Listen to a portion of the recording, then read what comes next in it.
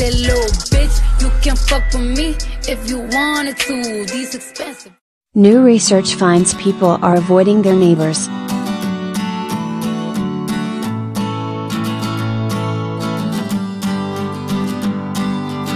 There's no Harold to wave to while he's hosing the lawn in the morning, or Karl Kennedy to pass on your morning jog.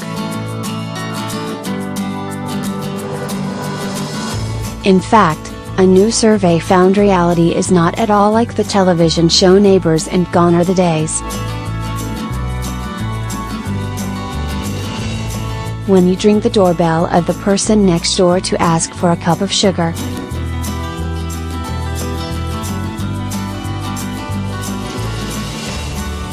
The survey from realestate.com.o discovered most of us avoid human contact with our neighbors.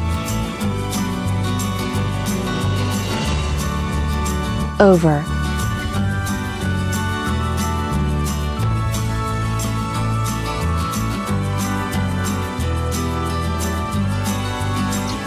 A third of us are like Homer Simpson and Ned Flanders, we are not interested in getting to know whoever lives next door. According to the survey, almost 100% of us have actually gone out of our way at some point to avoid a neighbor. Not all of us can get along like Wilson and Tim the Toolman Taylor.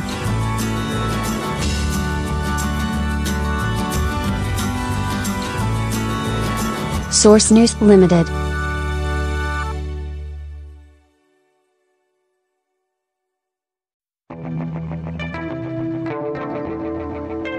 One in ten neighbors have called the cops on those who live next door, and one in ten also admitted to spying on their neighbors. But take a deep breath, only 3% of people have seen a neighbor in the nude.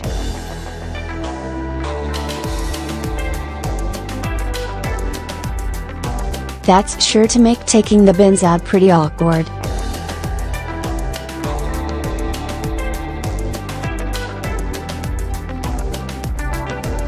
One in five people admitted to having a fight with somebody living on their street, and one in ten uses their neighbor's bin without asking. Betting not everybody answered that question completely honestly.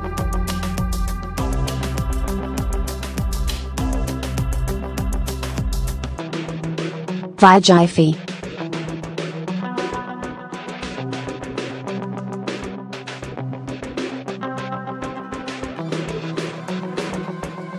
The survey found baby boomers are dodging their neighbors just as much as millennials.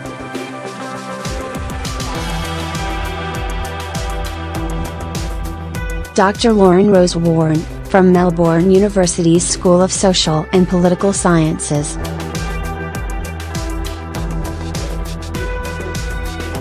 Said many people appreciated a respectful distance from neighbors.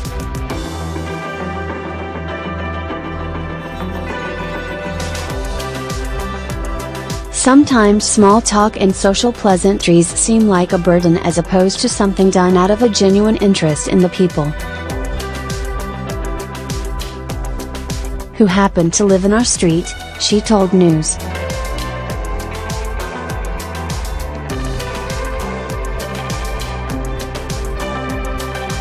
Com.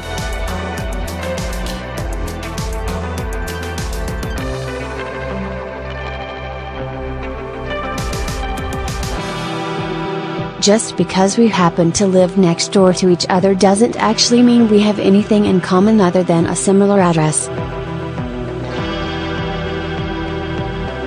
If you live in an apartment, you literally share walls with these people.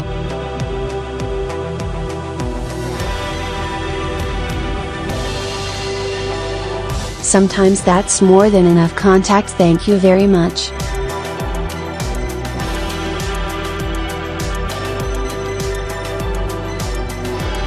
Neighbors can be annoying from loud music, loud arguments, loud sex, to barking dogs and overgrown trees.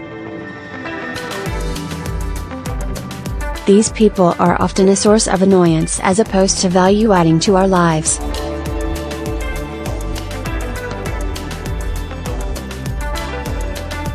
We have a tendency to idealize the past.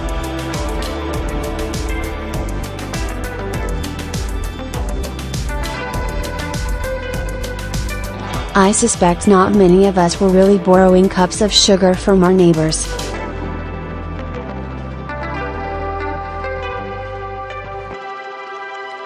How much do you dislike your neighbors?